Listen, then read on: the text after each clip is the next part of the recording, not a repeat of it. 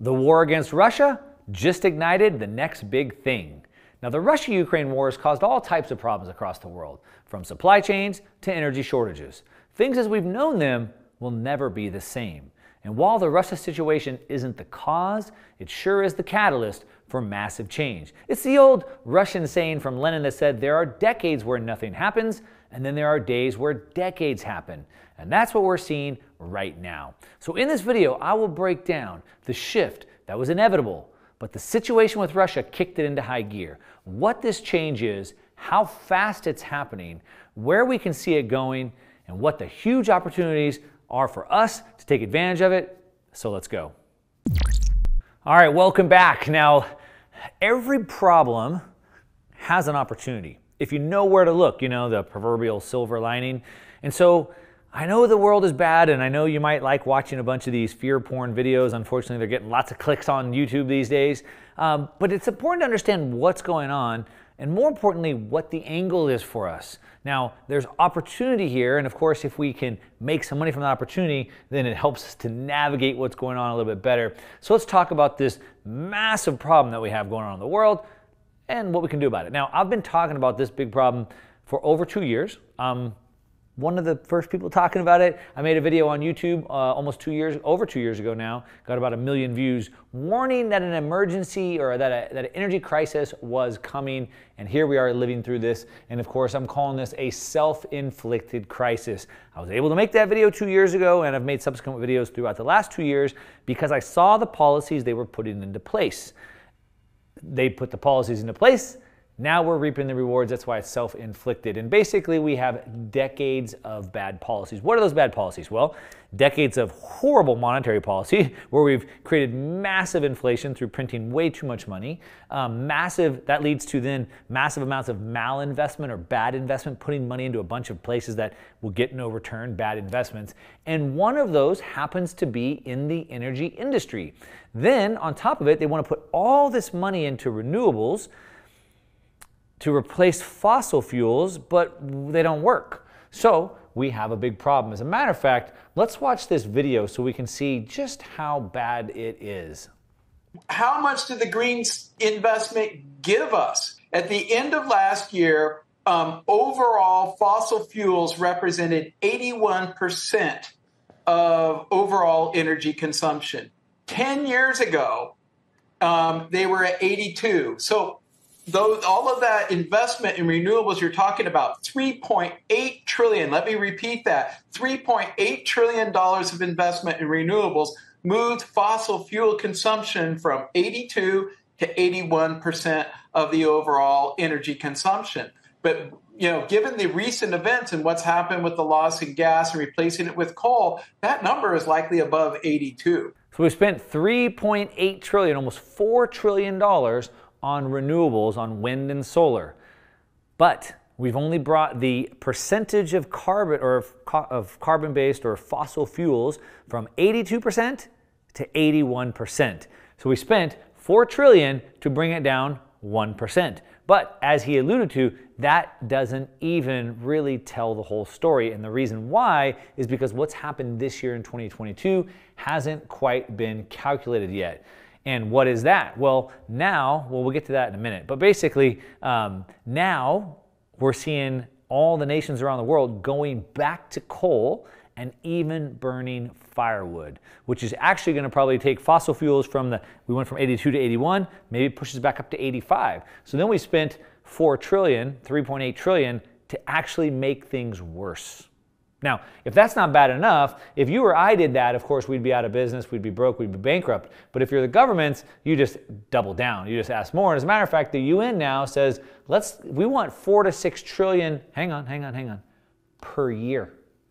We want four to six trillion per year to address this. So never mind the four trillion that we spent and actually made things worse. Now we want four to six trillion per year to make things even way worse. Sounds pretty good to me, right?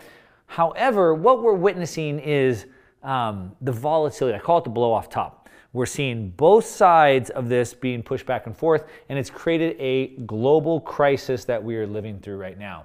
All right, now the problem is that reality eventually comes. I say it all the time. Eventually, reality will smack them in the face. They're going to have to wake up. You can ignore gravity temporarily, but eventually you're going to hit the ground. And that's exactly what's happening. And already we're seeing this happen in a really big way. We can see right here in this meme, they spent 500 billion euros on the renewables, and now they have to start mining coal again. But I thought that trillion, those trillions of dollars were supposed to get us away from coal. But now we're going back to coal. Now they have to mine coal again. So what happened? Well, real life kicked in as it is doing over the entire world. That's what I'm talking about. Reality finally kicked in. And what we can see is that it's gotten so bad, not only are they going back to coal, but now it says exploring the massive clean energy boondoggle of burning trees as carbon neutral. The shock of everyone with any semblance of common sense. Now, you guys have common sense, apparently these guys don't. The shock to anyone with at least a little bit of common sense that we are clear cutting forests. We're literally clear cutting forests in the United States and in Europe and burning the trees based on the idea that the process is somehow carbon neutral. So, somehow cutting down our forests, that the trees pull carbon out of the air.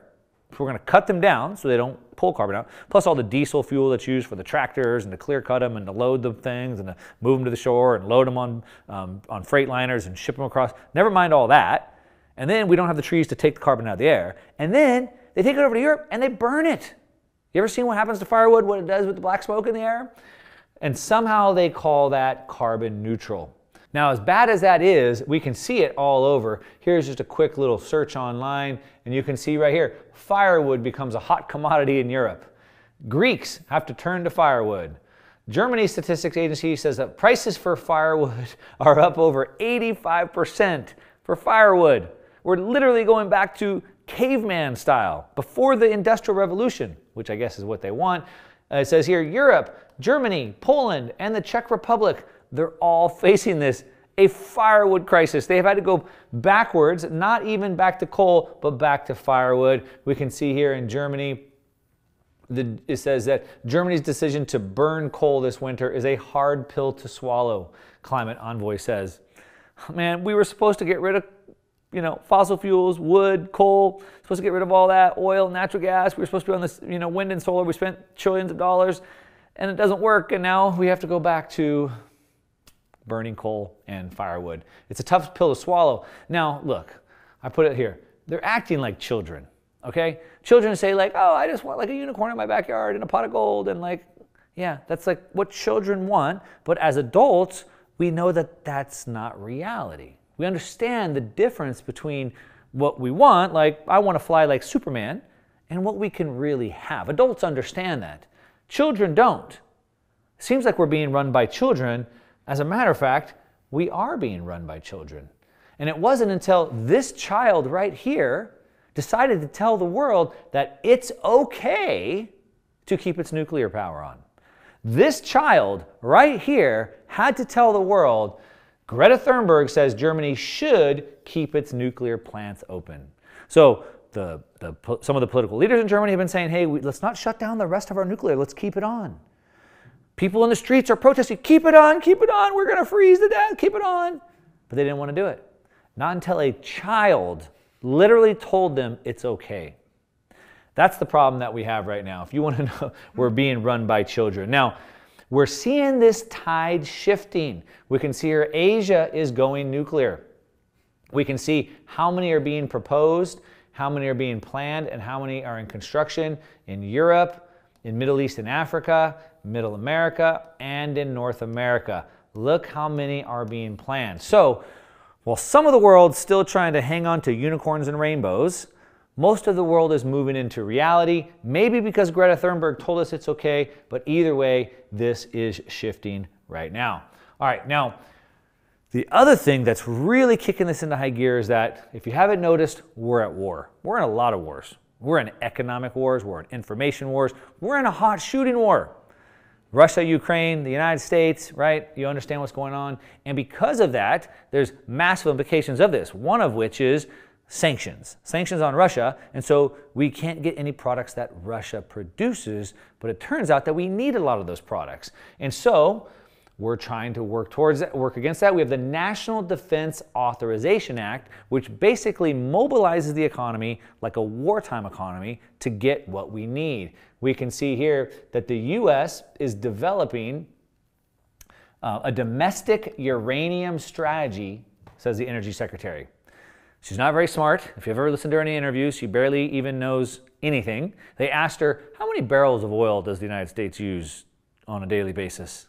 She's like, uh, I don't know. Well, it's like you're the energy secretary. Anyway, it says here the United States is working on supplying its own uranium for existing and advanced nuclear reactors. Now, this is the key piece.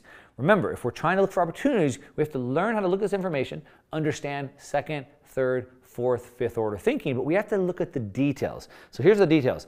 It's supplying its own, its own uranium for existing and advanced nuclear reactors. Why its own? Well, to reduce dependency on Russia. So we don't want to get uranium from Russia. We should get our own here in the United States.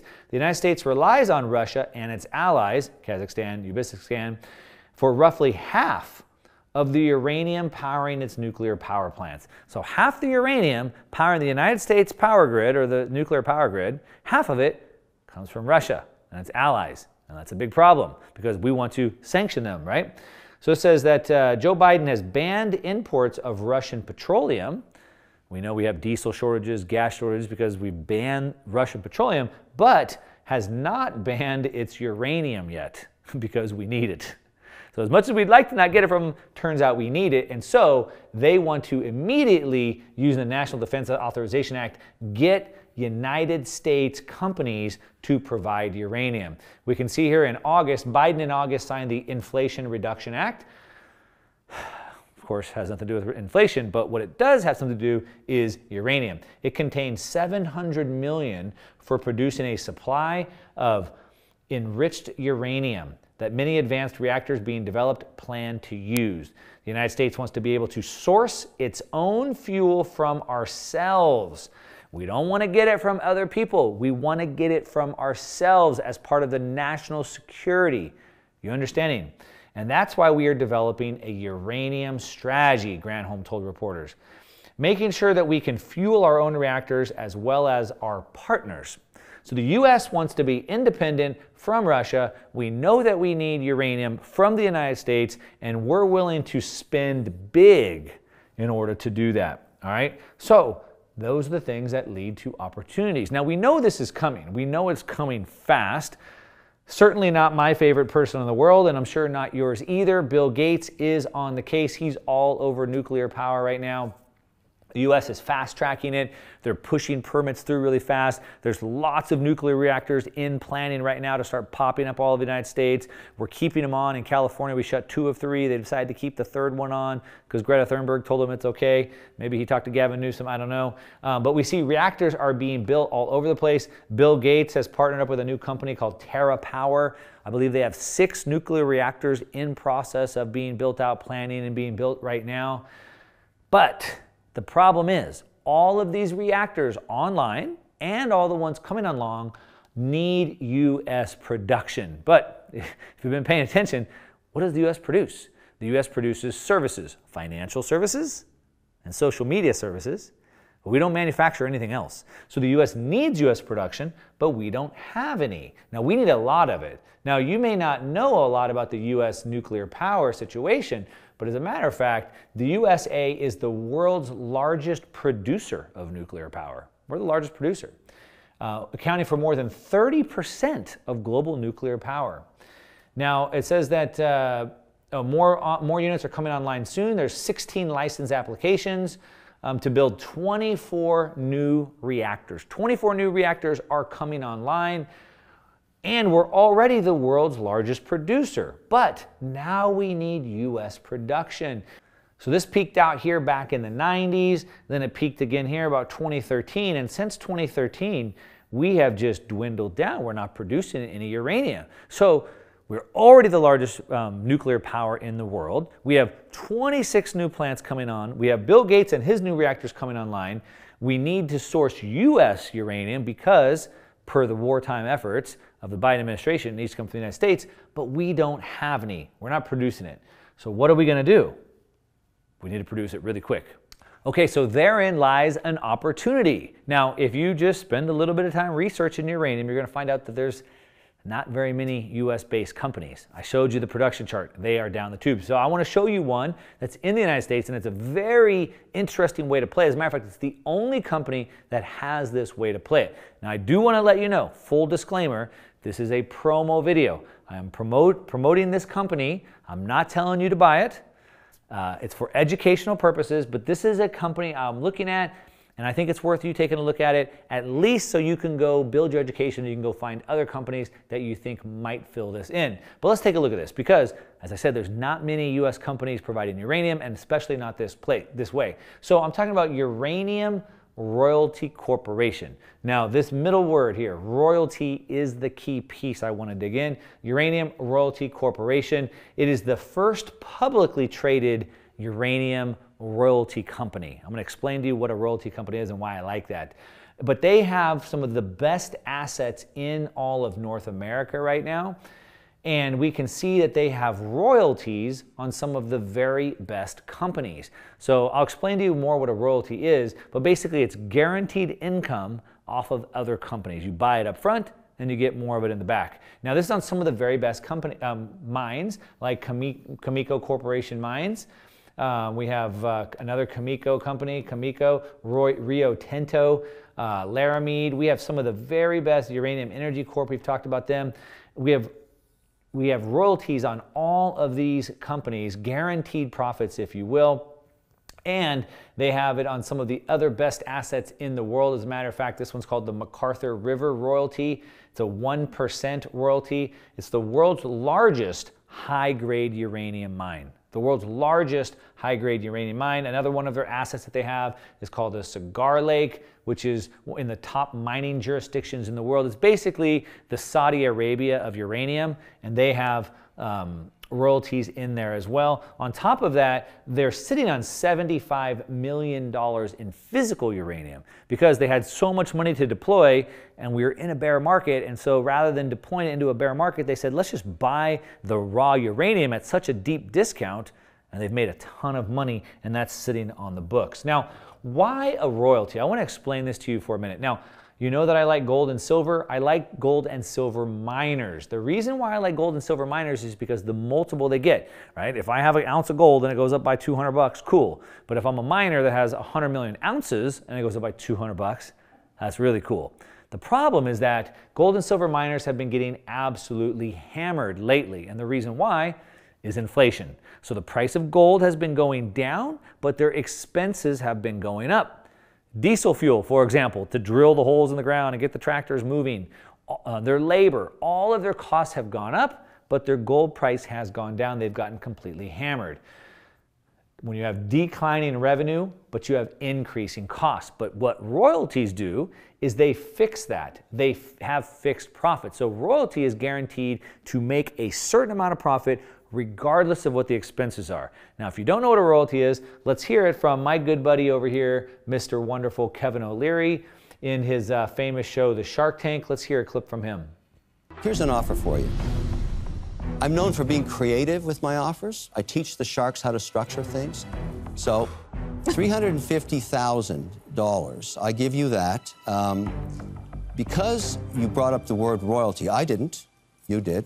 I like royalties because that's how I can get my capital back. So I'll give you the $350,000. I want a $3 royalty on the Vabroom. All right, so you understand how this works. If you watch Shark Tank at all, I used to watch it with my kids all the time. We loved it. Then you know that is his favorite method. He always wants to get a royalty because he's guaranteed that profit, that return. Now we see this all, all over the place in the gold and, and silver industry, but this is the only publicly traded uranium royalty company, and you have a fixed supply and profit. And it's no wonder that some of the biggest names in the uh, commodities, in the precious mining spaces are on board. The key shareholders, Uranium Energy Corporation, Altius Resources, one of the big companies, Mega Uranium, Marin Katusa, legendary resource investor. We got uh, Rick Rule, I mean, the man, the myth, the legend, Sprott Global. Some of the biggest names in the resource sector are in this because, of course, they love royalties too. And there's only one way to get royalties in the uranium space. Now, where is all this going? All right, I've already built up the case. There is uh, reality smacking people in the face. There is no way to move forward without uranium. I mean, uh, there's no way to move forward. We can go backwards to the dark ages, sure. We can go back to burning firewood, but there's no way to move forward without going to uranium. There's no way. And it's inevitable and it's happening. We're, we're literally watching it happen. So, where is this going? Well, right now, the company has about a $225 million market cap. That's the valuation of the company. If we adjust that, we know that they have $75 million of uranium on the books. And as the price of uranium goes up, that's going to go up in value. We also know that they have about 58 million in cash just sitting there in the bank, ready to be deployed at any time. So if we take the 225 million minus 75 in assets, minus 58 in cash, we end up with about a $90 million adjusted valuation of the company. Now, we know that they have I think about 15 different royalties on the very best assets that are out there, including two of the best, as I said, McArthur and Cigar Lake. Now, so far, because the price of uranium has been depressed, it's been in a bear market and so forth, this is all new developments. This new Biden administration stuff is brand new. And so now they're starting to ramp this up. The McArthur project is coming online right now. Like probably in the next 60 days, 90 days, it will come online and will start producing revenue into the company. Cigar Lake should be online in the first half of 2023. When these two projects start pumping in revenue, the price of the, uh, the stock should be going up really, really quickly. We can see, as I said, nuclear power is inevitable. If we look at the, how clean um, energy is, we can see the life cycle carbon emissions from selected electricity supply technologies. So coal right here is definitely the dirtiest. We have gas, we have biomass, we have solar right here, geothermal, hydropower, wind, and look at nuclear is even better than wind, solar, or anything else. It's the future. There's no way around it. It all just comes down to how you want to play it. The US is stepping it up big time, already the leader in nuclear, stepping up big time and want to get it all from the US. So, how are you going to get it? I'd love to know. Let me know in the comments down below. As always, give me a thumbs up on this video if you like it. If you don't, you can give me a thumbs down. That's okay. But at least tell me in the comments why. And that's what I got. To your success. I'm out.